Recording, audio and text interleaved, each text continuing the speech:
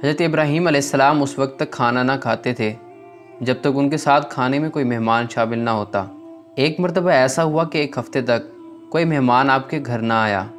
आप सलाम मेहमान की तलाश में ख़ुद भी कई मरतबा घर से बाहर तशरीफ़ ले गए, ताकि अगर कोई मुसाफिर भी मिल जाए तो उसे अपने घर ले आएँ और खाने में शरीक करें।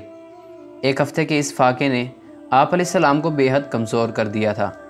आखिरकार आप को एक हफ़्ते के बाद एक बीमार और कमज़ोर बूढ़ा शख्स मिल गया, जो भूख से बेहाल था। आप सलाम ने इसको खाने की दावत दी तो वो आप सलाम के साथ बाखुशी घर चला आया। आप सलाम ने इसे नहायत इज़्ज़त और एहतराम के साथ दस्तरखान पर बिठाया और इसके आगे खाना रखा।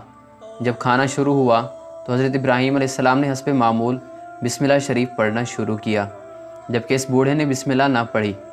आप सलाम ने हैरानगी से इससे दरियाफ़्त किया कि तुमने खाना शुरू करने से कबल बिस्मिल्लाह क्यों नहीं पढ़ी?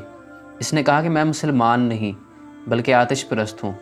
आप सलाम ने जब इस बूढ़े का जवाब सुना तो इसे दस्तरखान से उठा दिया और दिल में अफसोस करने लगा कि मैंने एक गैर मुस्लिम को अपने दस्तरखान पर बिठाया और मेहमान बनाया और अल्लाह जल ने हज़रत इब्राहीम आसमाम की जानब वही नाजिल की और फरमाया कि खलील हम जानते हैं कि हमारी बजाय आग को अपना रब जानता है।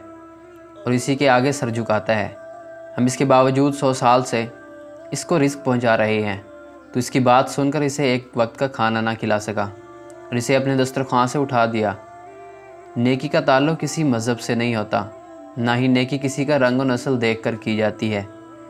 नेक काम का सिला अल्लाह जल की जानब से है और अल्लाह जल जिसे चाहे, नेक काम करने की तोफ़ी अता फ़रमाता है। किसी के मज़हब रंग और नस्ल को देख कर नेकी को हरगिज़ ना छोड़ो।